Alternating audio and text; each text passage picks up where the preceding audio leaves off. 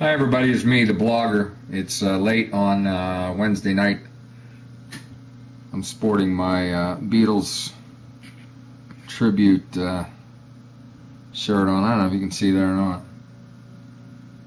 Well, if you can't, that's the way it goes. Uh, I had to make a fourth video because I think you have to have four for them to show up on the uh, YouTube thing. Uh, the uh, the darts that Sean was throwing at me, I made the comment that they weren't close. Actually, the one, if you look, that was the uh, triple eighteen, that actually grazed the uh, the side of my um, Homestead Grays throwback hat.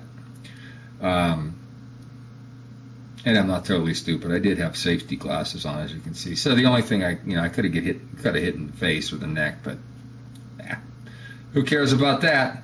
Okay, that's it for tonight.